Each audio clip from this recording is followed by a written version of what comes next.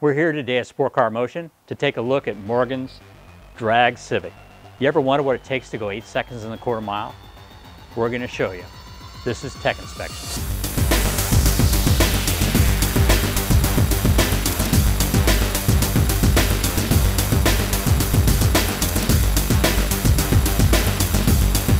This engine makes 1,050 horsepower at about 34 pounds of boost. A lot of things going on to make that happen. First off, it's got a K24 engine. Now, this motor didn't come in the car, so it needs mounts. It's got the Hasport mounts with 92 urethane. That keeps everything kind of steady. The internals have obviously been beefed up. It's got Crower rods. It has JE pistons. Actually, they're fairly high 11.5 to 1 compression ratio. That actually allows them to make big horsepower to lower boost. On top of that, because it spins up to 10,000 RPM, they use SuperTech valve train, valve springs, and keepers in order to keep everything under control. The cams are also fairly high lift, and these particular ones are made by Web. They're ground from billet, they're really nice, 1,000 horsepower. The turbo kit is an AFI turbo kit. It's really nice, stainless. It's a twin scroll style. Feeds into this Garrett GTX 4202 turbo. You notice because it's twin scroll, it has two of these uh, wastegates. They're both vented up to the hood along with the uh, normal exhaust. The turbo sucks the air in actually through this huge five inch tube which is ducted up to the hood.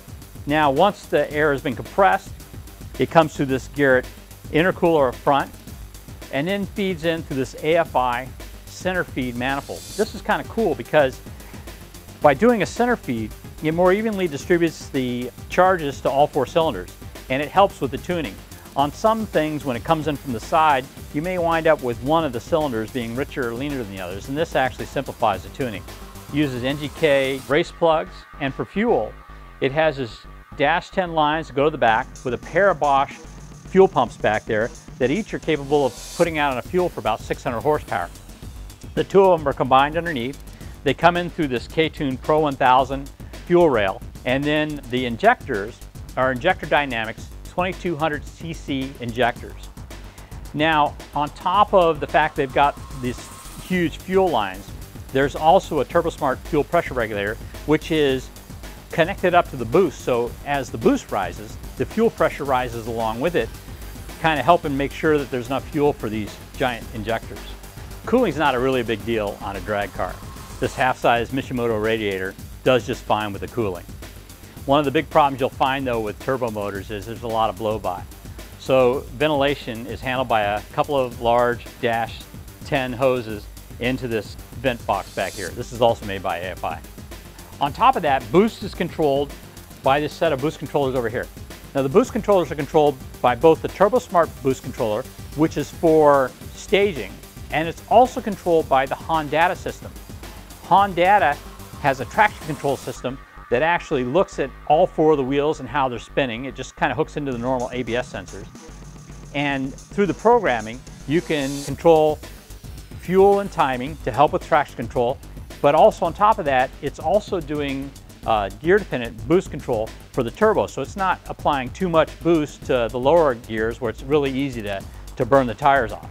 Because you're running uh, down a quarter mile, stopping isn't the same as it would be on a racetrack. So in order to make more room in here, they've got what's called a brake booster delete. They just have a single master cylinder that's then routed to all four of the cylinders, and that's usually enough to, to stop the car at the end of a quarter mile. Remember, they have a drag chute on top of that.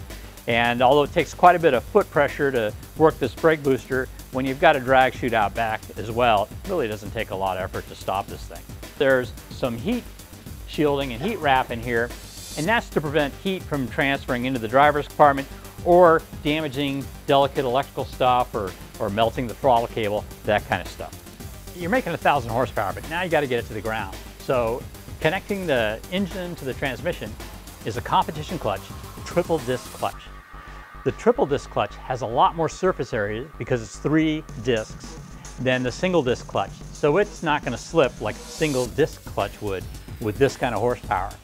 Now, once it makes it into the transmission, this K-Series transmission has actually been beefed up with PPG gears. Those are straight cut gears, which are a lot stronger. There's only four of them because you don't need six going down the drag strip. And it's also got dog engagement rather than the synchros. Dog engagement is a lot beefier setup and conceivably you could even go without a clutch if you wanted to. You can just kind of shift it by taking the power off and pushing the shifter and uh, you can get it to shift that way. Now once the gears take care of that, it, it's fed into a special final drive that's also made by PPG. And then there's a PPG differential. And from there, it's connected to Insane drive shafts.